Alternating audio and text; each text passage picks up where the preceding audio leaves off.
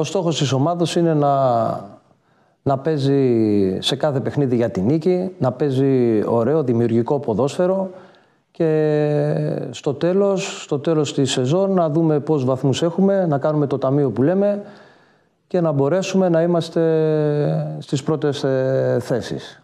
Παίζοντας καλό ποδόσφαιρο και παράλληλα να βγάλουμε και παιδιά μέσα από την ε, Ακαδημία. Είναι ένας στόχος, θα πήγαινα αργότερα, αλλά μπορούμε τώρα να μου κάνετε καλή πάσα, να πάμε λίγο και στο κομμάτι της Ακαδημίας και θα επανέλθουμε και στο ανδρικό. Ο Βίρονας είναι μια ομάδα πρωταγωνιστή που κάνει πρωταθλητισμό. Έπαιζε και στην τρίτη εθνική πριν λίγα χρόνια. Αλλά νομίζω ότι μια ομάδα για να έχει παρόν και μέλλον πρέπει να βασίζεται στις ακαδημίες της, να βγάζει έτσι νέα παιδιά. Και ο Βίρονας βλέπουμε το κάνει αυτό και λειτουργεί τι ακαδημίες με πολλή υγεία. Ε, Πώς το βλέπετε όλο αυτό και τώρα που είστε και στην ανδρική ομάδα; Κοιτάξτε, σίγουρα δεν είναι εύκολο να συμβεί αυτό. Ε, είναι, ε, η ομάδα έτσι όπως έχει δομηθεί και τα προηγούμενα χρόνια είναι, έχει, έχει απαιτήσεις. Σε, κάθε παιχνίδι πρέπει να πηγαίνει για τη νίκη, να παίζει καλό ποδόσφαιρο, να πρωταγωνιστεί κάθε χρόνο. Οπότε είναι λίγο πιο δύσκολο να βάλεις ε, νέα παιδιά μέσα σε αυτή τη διαδικασία. Από την άλλη βέβαια αν ένα παιδί αξίζει και έχει όλα αυτά τα προσόντα για να, για να παίξει ποδόσφαιρο, για να εκπληρώσει τις φιλοδοξίες του, εγώ όσο είμαι εγώ προπονητής θα του δώσω αυτή τη δυνατότητα να το πετύχει.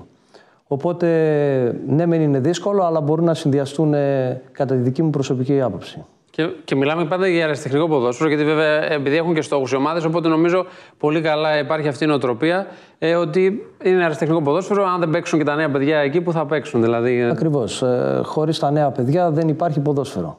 Είναι αυτοί οι οποίοι θα είναι οι αυριανοί ποδοσφαιριστές στα αεραστεχνικά, στα επαγγελματικά οι φίλαθλοι, οι αυριανοί παράγοντες, οι διαιτητές.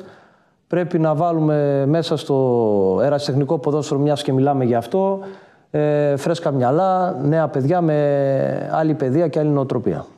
Ωραία, πολύ ωραία. Είχαμε πριν λίγες εβδομάδες εδώ μαζί μας τον πρόεδρο του ΣΕΠ, τον κύριο Γιώργο Πριονίδη, και το συζητούσαμε και το είχαμε πει και την προηγούμενη σεζόν με τον κύριο Πριονίδη, ότι η πρώτη κατηγορία της Καβάλας είναι μια μικρή τρίτη εθνική. Είναι πολύ ψηλό το επίπεδο, βλέπουμε πολύ ποιότητα.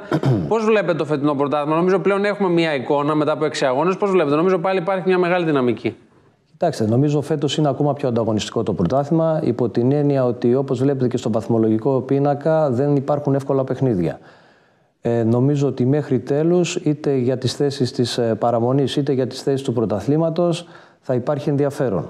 Αυτό είναι πάρα πολύ ευχάριστο και όντως ε, το πρωτάθλημά μας είναι ανταγωνιστικό με ομάδες που, με πολύ καλές ομάδες που ανά πάσα ώρα και στιγμή μπορούν να κερδίσουν τον οποιοδήποτε αντίπαλο. Και όπως είδαμε και αυτή την εβδομάδα, ο Άγιος Ανδρέας που θεωρητικά πάντα μιλάμε, είναι μια από τις ομάδες τις πιο αδύναμες, ε, να με συγχωρέσουν και ο πρόεδρος και τα λοιπά της κατηγορίας, πήγε έκανε ένα διπλό μέσα στην Πέραμο. Που ήταν σε φόρμα η Πέραμος γενικά, είχε κάποιες νίκες. Ακριβώς, οπότε αυτό μας δείχνει ότι θέλει μεγάλη προσοχή και μπορούν να έρθουν όλα τα αποτελέσματα με όλες τις ομάδες. Το είδαμε νομίζω και τις προηγούμενες αγωνιστικές αρκετά, δηλαδή είδαμε και αρκετές εκπλήξεις. Έχει πολλά αμφίροπα παιχνίδια. Ναι. Ε, ε, λέμε για το φετινό. Το περσινό πρωτάθλημα πώς το βίωσε. Το Βίρονα μέχρι το τέλος το κυνήγησε.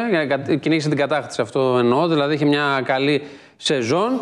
Έχει κατακτήσει στην αρχή της σεζόν το Super Cup. Συνέχισε έτσι ανταγωνιστικός σε όλο τη διάρκεια του πρωτάθληματος. Τελικά ο Άρης Πηγών ήταν αυτός που κατέκτησε και τελικά προβιβάστηκε στην τρίτη εθνική.